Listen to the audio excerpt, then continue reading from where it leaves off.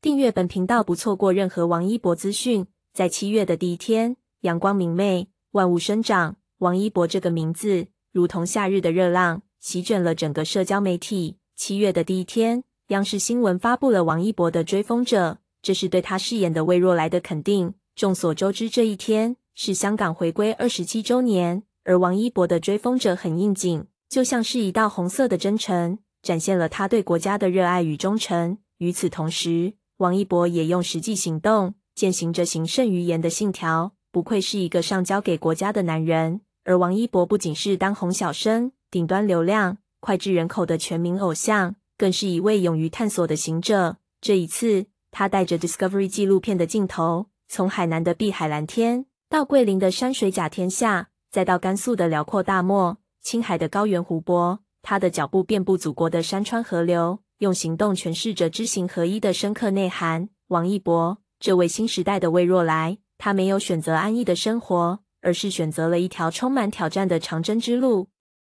传闻这次会去自然保护区，会与高山草原为伴，与湖泊丘陵为邻，与沙漠雪山为友。他们会用镜头记录下这些自然奇观，用心灵感受这片土地的脉动，用行动传递着对大自然的敬畏与热爱。从桂林出发兰州，王一博现身后，肉眼可见的晒黑，瞬间冲上热搜。从未见过这样的王一博，都说这个顶流太不同。好能吃苦，他本可以选择轻松赚钱，但他选择了一条更为艰难的道路。他跟随着世界顶端的探险团队，制作着全球播放的纪录片，宣传着我们祖国的大好河山。这不仅是一份责任，更是一份荣耀。各地的文旅部门都为他的到来感到自豪，因为他的到来，从江西文旅到桂林文旅，他们可谓是乐开了花。王一博的到来，让更多人看到了中国的美丽与魅力。王一博的这次纪录片之旅，不仅是一次视觉盛宴，更是一次心灵的洗礼。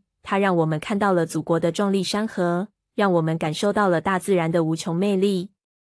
他用实际行动告诉我们，什么才是行胜于言，什么才是价值的输出。王一博晒黑的肤色，就是很好的证明。昔日他是精致的爱豆时，冷白皮、干净白嫩的肤色，还有光滑的手。如今拍摄纪录片后，皮肤变黝黑，手上的伤痕，粗糙的手，反差很大，没有半点偶像包袱，更接地气。王一博说自己能吃苦，果然如此，从不敷衍，说到做到，这就是新时代的魏若来。剧情照进现实，难怪各大文旅会争着抢着宣传，这个门面担当值得，用行动去践行心中的梦想，用脚步去丈量这个世界的宽广，因为只有行才能胜于言，只有走。才能到达心中的远方。七月的开始是王一博带来的惊喜，继续前行，一路繁花，让我怎么夸？情绪价值拉满，夸不完，根本夸不完。节目最后，希望小伙伴们点开小铃铛，follow 一下本频道，专注王一博作品资讯与综艺，一起为宝藏偶像打 call。